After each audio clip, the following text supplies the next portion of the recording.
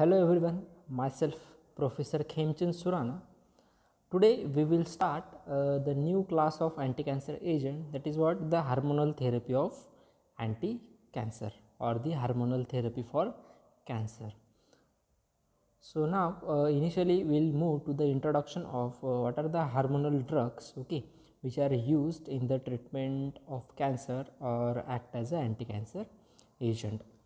So basically the hormonal drugs uh, it involves the manipulation of endocrine system through exogenous administration of specific hormones particularly steroid hormones or the drugs which inhibit the production or activity of such hormones. So basically the what is the role of uh, these hormones or the hormonal drugs uh, they have to manipulate the endocrine system through exogenous administration of specific hormone means by the exogenous administered by externally there is what? The administration of hormone. By using these uh, administration of hormones uh, they need to what? Manipulate the endocrine system. The particularly basically steroid hormones will be there or the drugs okay? So which has to inhibit uh, inhibit the production or the activity of such a kind of hormones uh, they were involving production of cancer okay? So because the steroid hormones are powerful drivers of gene expression in the certain cancer cells uh, changing the level or the activity of certain hormones can causes certain cancers to cease growing or even under cell death okay? So as we know the uh, steroid hormones are what? Powerful drivers okay? And they have a impactful role in what? Gene expression okay so by changing the level or the activity of certain kinds of hormones okay within the body okay uh, they can cause the certain types of cancer okay to cease growing or also they leads to what? Uh, undergo the cell death okay. Uh, now uh, this is what about introduction. Now we will uh, move to the different uh, subclasses of hormonal uh, drugs okay which are used as anti-cancer drugs or anti-cancer agent so in that the first category is what? Glucocorticoids. Okay. So glucocorticoids are useful into what? Hormonal therapy of cancer. So the examples of these glucocorticoid is prednisolone and dextromethasone. Basically these two examples. Okay. The structures of both uh, two examples given over here the steroidal nucleus is there. Okay. So uh, phenanthrene kind of ring and which is fused with five member uh, ring okay pentacyclic ring okay. So this is what the steroidal nucleus the both structures of prednisolone and dextromethasone is given over here okay. So glucocorticoids uh, such as prednisolone and dextromethasone have a marked inhibitory effect on lymphocyte proliferation okay. So they were what? Useful in case of lymphocyte proliferation and having uh, shows their inhibitory effect okay so uh, these are useful in the treatment of basically leukemias and lymphomas. Okay these glucocorticoids were useful in what? Leukemias and lymphomas. Their ability to lower the uh, raise intracranial pressure. So whatever the uh, intracranial pressure has been increased so these kinds of uh, hormones means glucocorticoids has uh, having ability to lower whatever the intracranial pressure has been rise okay and to mitigate the some side effects of anti-cancer agent okay? So if uh, any kind of uh, side uh, any any kind of anti-cancer agent has been given and side effect were uh, causes so these kinds of glucocorticoids were useful to mitigate the uh, these kinds of side effect and makes them useful as a supportive therapy okay? So this is we can call uh, supportive therapy for cancer okay? By uh, lowering the uh, side effects as well as decreasing the intracranial pressure. So this is about glucocorticoids. Now uh, the second uh, class is estrogens. Okay. So estrogens are physical antagonist of androgens. Okay. As we know so those uh, used to antagonize the effect of androgens. Okay. So these are what the antagonist of andro androgens. That's why they were uh, used to antagonize the effect of androgens in the androgen dependent prostate cancer. Okay so the androgen dependent prostate cancer in that the androgen level has been what? Increases okay.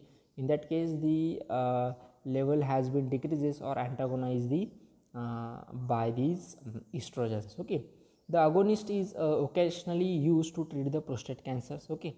What are the agonist of these estrogens okay? They were uh, useful in the treatment of prostate cancer through suppression of testosterone production okay through suppression of testosterone production. So uh, the examples from these uh, estrogens are diethylstilbestrol and ethinyl ethinyl estradiol okay so these are two examples diethylstilbestrol and ethinyl estradiol. So these are two examples uh, of the estrogens. Okay used clinically uh, in the palliative treatment of androgen dependent prostate cancer. So in the androgen dependent prostate cancer these two examples were useful. The latter the compound has fewer side effect okay? So as we know these kinds of uh, compounds and what? Fewer side effect. Uh, these tumors are also uh, treated with gonadotropin releasing hormone analogs okay uh, estrogens can be uh, used to recruit the resting mammary cancer cells uh, into the proliferating pool of the cells, thus facilitating killing by other cytotoxic drugs. Okay, so whatever the estrogens, okay, these were useful, okay, to recruit the resting mammary cells, okay, into proliferation of the cells, okay means whatever the rest uh, cells of mammalian uh, cancer cells okay they were uh, shifted to proliferation pool of the cells and facilitating uh, killing by other cytotoxic drugs.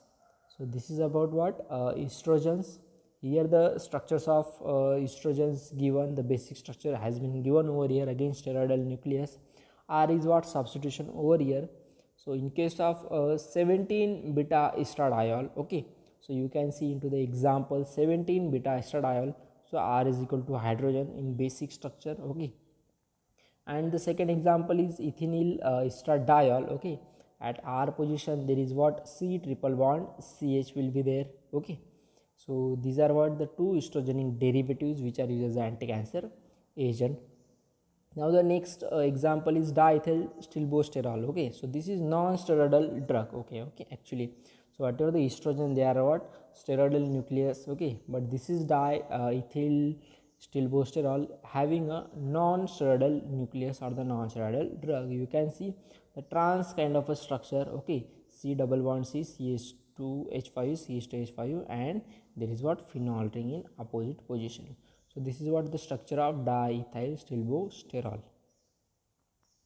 Uh, now the next uh, subclass of these uh, uh, hormonal therapy is selective estrogen receptor modulators. Okay, third subclass selective estrogen receptor modulators. In short, we can call it SERM. Okay, so these kinds of structure having both estrogenic as well as anti-estrogenic effects on various tissues okay?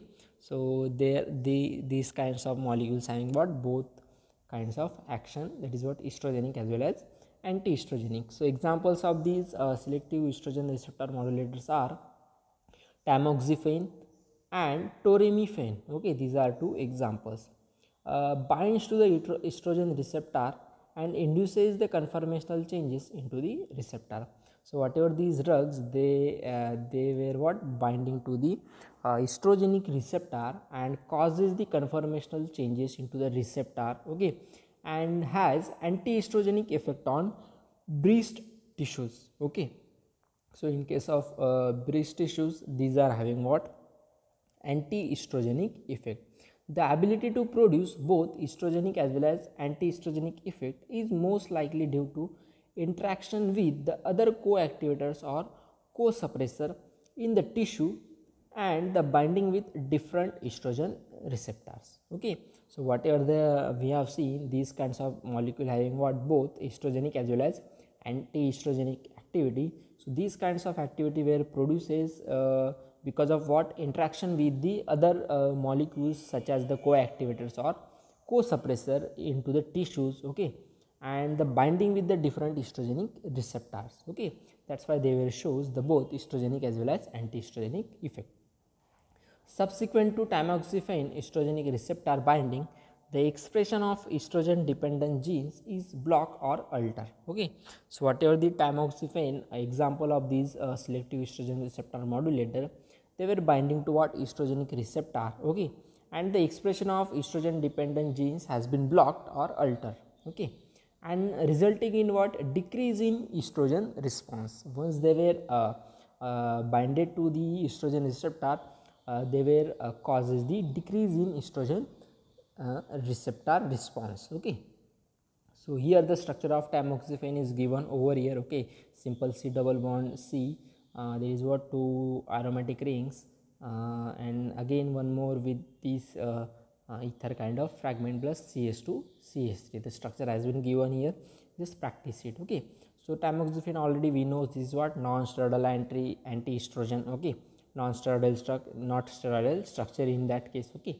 So they were shows the antagonistic action in case of breast as well as blood vessels and agonistic action in case of uterus bone and liver and pituitary glands okay? So in this case they were shows agonistic actions so most of the uh, tamoxifen uh, affects uh, uh, into what G1 phase of the cell cycle. So they were work in what the G1 phase of the cell cycle. Okay. Uh, here the mode of action of uh, these estrogen uh, uh, estrogen uh, receptor modulators has been given. So these are what whatever the anti-estrogen drug or the selective estrogen receptor modulators. Okay. These are competitive competitors or the competitive inhibitors of what? Your competitive inhibitors of what? Your whatever the steroidal nucleus. Okay. So here uh, you can see the steroidal nucleus has been given means what? Steroid means whatever the estrogen. Okay. So estrogen will uh, come and bind to the estrogenic receptor. Okay. And which inactivate the uh, whatever the uh, complex of the steroid with receptor molecule okay? So how they were inactivate? Whatever the tamoxifen molecule okay? It will come as in competition with the steroid molecule okay? You can see into the diagram. So there is target cell okay? So tamoxifen will come and anti-estrogen drug means what? Tamoxifen uh, will competes with natural hormone for intracellular receptor okay? So they were what? Act as a act as a or competes with the natural hormones for intracellular receptors. Okay. So this is what the mode of action of your uh, selective estrogen receptor modulators. Now the next uh, uh, subclass is what uh, selective estrogen receptor down regulator okay. Selective estrogen receptor down regulator in that the example is fulvestrant. Okay. Fulvestrant is the example the structure again given over here again the steroidal nucleus over there okay and there is what side chain substitution. So, this is what the pure estrogen antagonist structure okay. So, this molecule is what pure receptor antagonist okay and useful in the metastatic estrogen receptor uh, plus breast cancer in post menopausal human. So, in this case these kinds of selective estrogen receptor down regulator okay this is the fourth class has been useful. So, how uh, these uh, were act basically? So, they were inhibit the estrogen receptor dimerization okay, and prevent the interaction of estrogen receptor with DNA. Okay. So, simple mode of action is there they they what inhibiting the dimerization process of estrogen receptor and prevent the interaction of estrogen receptor with DNA. Whatever the estrogen receptors is uh, down regulated and resulting in more complete suppression of estrogen responsive gene function okay? Once this uh, kind of interaction of estrogen receptor and dna has been prevented so whatever the responses of these estrogen receptor has been decreases okay? And whatever the responsiveness of uh, gene function also suppresses okay? So this is what the mode of action of selective estrogen receptor down regulator. So now the fifth uh, subclass of these uh, uh, hormonal therapies aromatase inhibitors okay? Aromatase inhibitors. So aromatase is an enzyme basically okay? Uh, which is responsible for conversion of androstenedione okay to estrone okay? So aromatase is basically enzyme and what is the role of these aromatase is uh, there is a conversion of androstenedione okay which is what? Androgen precursor this androstenedione will converted into estrone okay? So estrone is what? Estrogenic hormone. So this simple conversion were carried out by using aromatase inhibitor okay? So this uh, aromatase we have to inhibit that why this uh, that's why these aromatase inhibitors has been developed. So there are what uh, three generations of these aromatase inhibitors. So first generation is what? Aminoglutethimide okay so first generation drug is what? Aminoglutethimide second generation drug is formestane fadrozole and uh, rogletimide okay. So these are three examples of second generation. Now third generation is exemestane letrozole and anastrozole. Okay. So these are what the three different generations of aromatase inhibitor. In that the aminoglutethimide is what? Well known. Okay. Drug so these aromatase inhibitors are the class of drugs which are used in the treatment of breast cancer and ovarian cancer okay in post menopausal woman okay. So in case of post menopausal woman uh, so uh, useful against the breast cancer as well as ovarian cancer okay so as breast and ovarian cancer uh, requires estrogen to grow okay? As we already know the pathophysiology of these uh, estrogen receptors okay? They were uh, required for what? Whatever the breast as well as ovarian cancers okay? They requires uh, uh, these estrogens to grow okay? So aromatase is inhibitors uh, are taken to either block the production of estrogen or block the action of estrogen on receptor.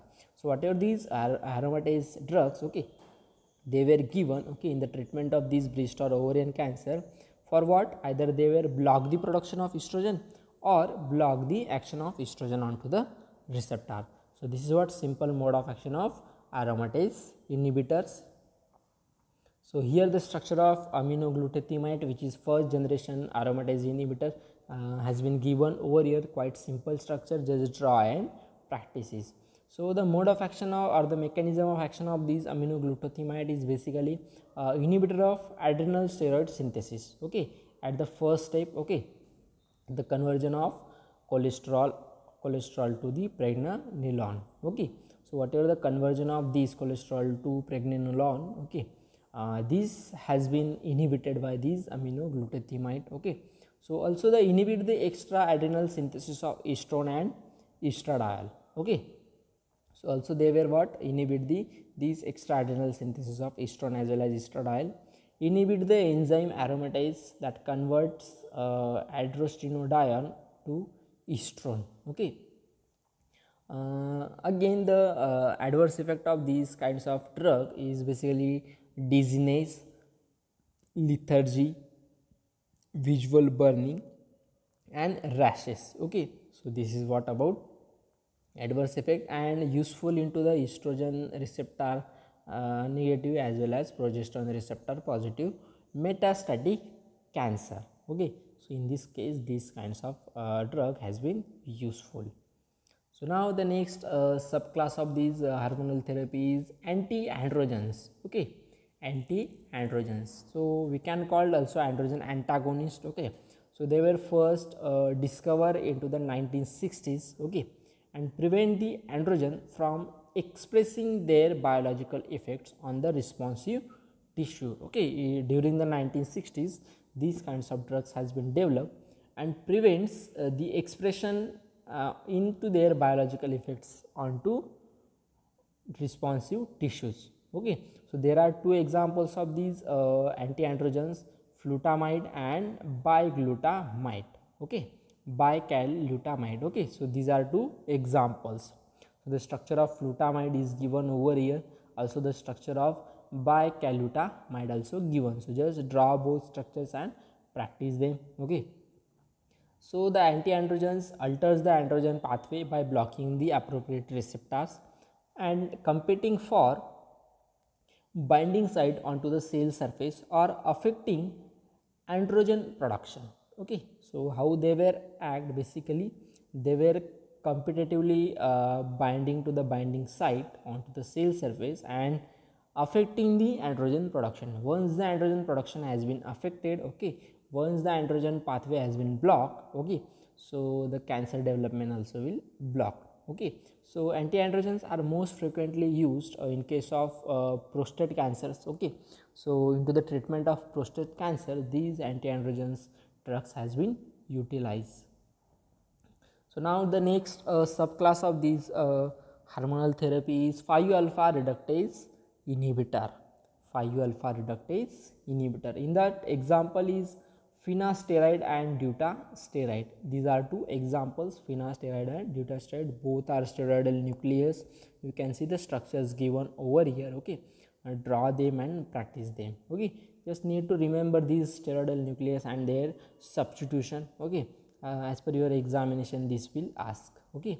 So finasteride basically uh, uh, active by oral administration and decreases the DTH levels okay and useful in case of benign prostatic hyperplasia.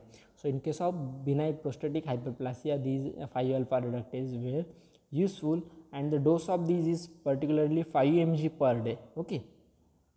Uh, also they were uh, useful to decrease the prostate volume, decreases the symptom score, okay, uh, increases the peak urine rate flow and decreases the DTH level into what uh, DST level in what your prostate, okay.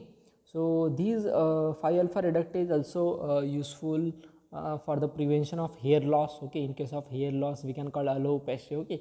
In that case also useful. The side effect of these uh, 5 alpha reductase is basically loss of libido and impotence in 5% of patients okay? So impotence as well as the loss of libido these are two basic side effects of these 5 alpha reductase uh, the next uh, class is what gonadotropin releasing hormone analogs GnRH. Okay, these are the next subclass of this hormonal therapy. So examples from this therapy is nalfrelin, uh, leuprorelin and triptorelin. Okay, these are three examples. Then uh, the first example discussed over here that is what uh, nafrelin. Okay, uh, the nasal spray as well as subcutaneous injections were available okay of these drugs. These were act by decreasing the fsh and lh release by pituitary glands okay. Also decreases the release of estrogen and testosterone. By this mechanism they were act as anti-cancer agents. And uh, useful in case of breast cancer as well as prostatic cancers Next subclass is what progestins. Okay. So, in progestins basically uh, the examples given over here uh, hydroxyprogesterone acetate and medroxyprogesterone acetate. So, these are what the two examples hydroxyprogesterone uh, acetate and medroxyprogesterone acetate. Also one more example that is what uh, megestrol. Okay, megestrol. So, basic structure given over here uh, there is what R1 and R2 substitution you can see into the basic structure okay. So, basic nucleus is again steroidal structure and R1 and R2 substitution will be there okay. So, the first example is what hydroxyprogesterone caproate okay. So, in this uh, structure R1 is equal to a hydrogen and R2 is what COC5H11 and in case of medroxyprogesterone acetate uh, at R1 there is what? CH3 and R2 CO CH3 these are what the examples of progesterone. okay? So these are basically second line hormonal therapy okay? For the metastatic hormonal dependent breast cancer as well as endometrial cancers okay? So these are what? Second uh, second line therapy for the treatment of these kinds of cancer as well as endometrial uh, endometrial cancers okay so, whatever the hydroxyprogesterone uh, which is useful in case of metastatic endometrial cancer okay and the side effect of these uh, progestins basically uh, they were causes the bleeding okay during the treatment this is major side effect of these uh, progestin derivatives. So, this is about the progestin. Now, the next and last uh, subclass of these uh, hormonal therapy is gonadotropin releasing hormone antagonist. Initially, we have seen the gonadotropin releasing hormone analogs. Now here is what the gonadotropin releasing hormone antagonist. So examples in this category basically cetrorelix, okay, cetrorelix, ganirelix and abarelix. These are three examples from this antagonist category. So so these are all are what antagonist of gonadotropin releasing hormone decreases the release of gonadotropin without causing initial stimulation uh, can be used in the prostatic cancer without the risks of the flare up reaction. Okay. So these examples basically uh, uh, these examples were what? Uh, decreases the release of gonadotropin okay by causing the initial stimulation and can be used into what? Prostatic cancers. So this is what about the uh, different subclasses of hormonal therapy we have discussed. There are 10 subclasses so these uh, whatever the hormonal therapy will ask in examination for 5 marks in every year. So important as per your examination. Just need to remember all the structures practice them okay? Practice all the structures okay? Uh, and remember the all subclasses with their basic information as per your examination.